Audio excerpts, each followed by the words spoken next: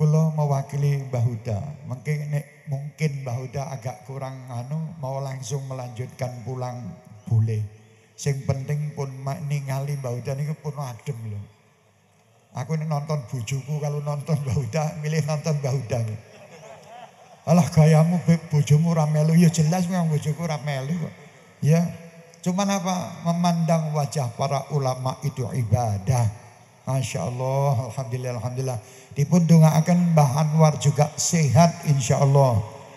Ya mudah-mudahan paringi kesehatan Mbah Anwar dan sinten Mbah Kiai Sya'roni Ahmadi. Kudus, ya nembe gerah mudah-mudahan paringi sehat. Sedaya para romo-romo kiai, bunyai, para habaib yang lagi sakit, tokoh-tokoh masyarakat dan semua masyarakat yang lagi sakit.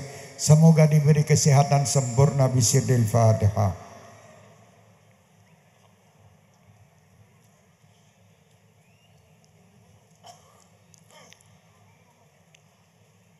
Amin, amin ya rabbal alamin. Saya minta nanti semuanya teriak sing buyanter. Niki gedungnya luar biasa ini apa namanya? Lapangan ini luar biasa. Al Brawijaya Stadion.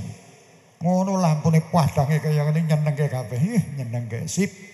Salawat yang tertib tadi dianjurkan untuk bendera tidak terlalu diputar-putar di waktu pulang.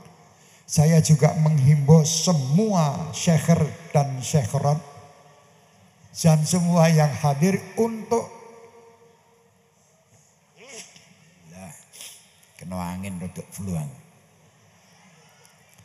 Kalau pulang sampahnya di bawah.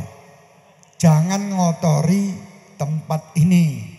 Ingin diingat-ingat.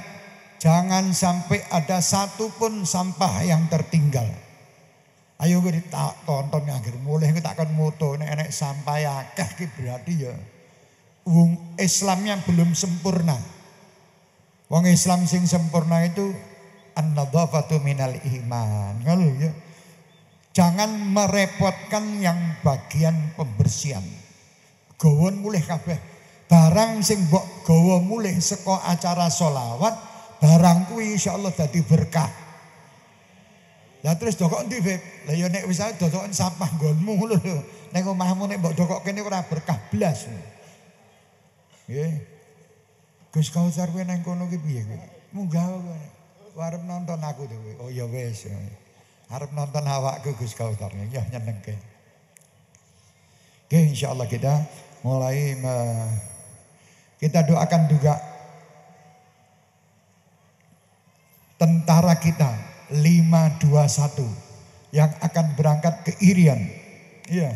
Bismillah kita doakan selamat dan kita doakan mereka insya Allah dapat menjalankan tugas dengan baik dan insya Allah mereka selalu mendapat lindungan dari Allah Subhanahu wa taala dan dapat mengamankan negeri ini daripada orang-orang yang tidak bertanggung jawab. Amin ya rabbal alamin. Bismillahirrahmanirrahim.